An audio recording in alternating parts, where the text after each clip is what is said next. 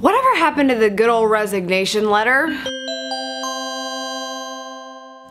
What's up socials? Happy Sexy Wednesday. You know, and yet another person thought it would be really cool to post on the internet that they're quitting their job in a really quirky way. Unfortunately, I don't think this is going to equal viral fame for her, only a place in a legal setting. P.S. I think the sun has finally decided to join the Midwest, so I have no idea how this lighting is going to turn out. This young lady, her name's Jenny, last name to be confirmed, decided to quit her job via a series of pictures and a whiteboard explaining why she was leaving and how big of douchebag her boss is. Unfortunately, her boss thought it would be equally as cool for him to do the same in a rebuttal and then accused her of violating her employee agreement. Why do we all feel like when we leave our job, it's gotta be this viral sensation? This was bound to happen where it was no longer cool anymore and you're breaking rules and you're hurting people's feelings who have a lot of money to put behind those feelings and make your life terrible. As fun and as funny as these videos and photo montages can be, and I know we've all thought about, man, I really wish I would have gone out like that,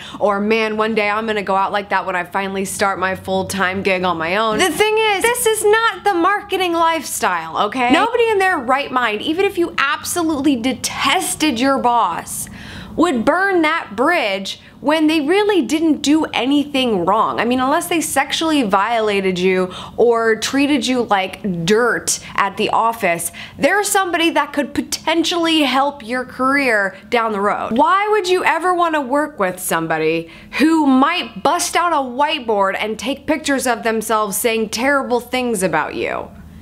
That doesn't sound like somebody I'd want to hire. This is networking 101. Do not burn bridges. Do not make enemies. This is probably unavoidable in some cases. Trust me, I probably have a couple of enemies laying around. We don't run into each other very often, so I'm unsure. This is just freaking common sense. Could everybody come back to earth, please, and start using those old resignation letters? Hey, boss man, pink slips used to be a thing.